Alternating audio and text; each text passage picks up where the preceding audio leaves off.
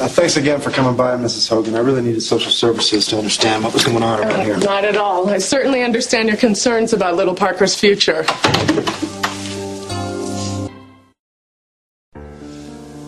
As I said, I'd appreciate it if you put this at the top of your list. Absolutely. Thank you. Thank you for coming by. My pleasure.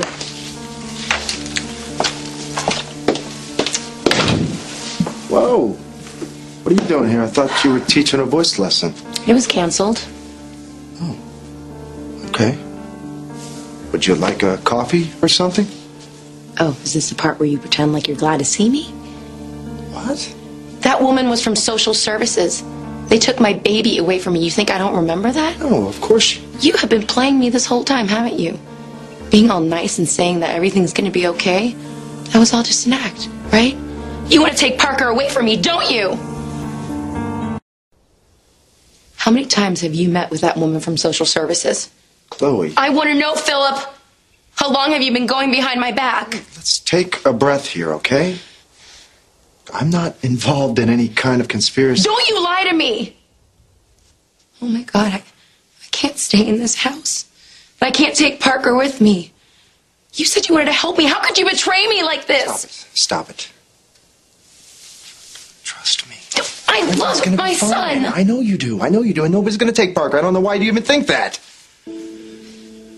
I met with Mrs. Hogan to let her know that you were doing much better. That you deserved a chance to get Parker back. Really?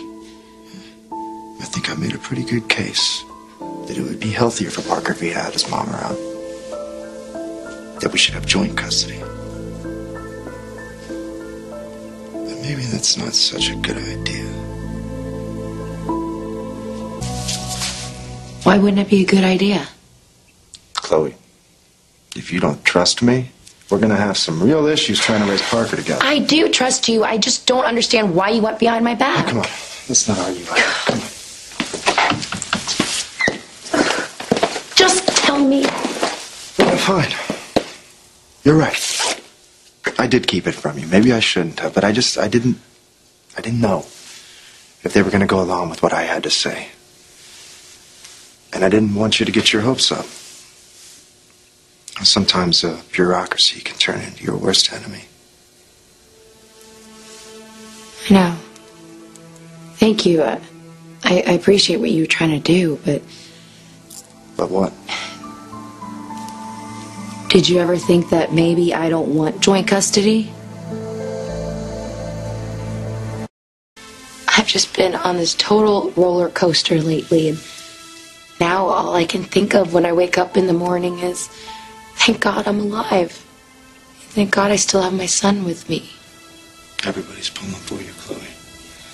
I know, and I'm grateful. But Victor is not one of those people, okay? I can't live here in his house. Hey, look, trust me.